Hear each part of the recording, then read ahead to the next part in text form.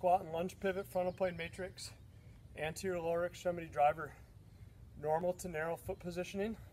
So R and X, R and X to, to RXX. Same side lateral, opposite side lateral, RXX with the top leg, anterior right moving, R and X, right lateral to right medial, and then the switch going L, XX to L, NX. Left lateral, left medial, L, XX,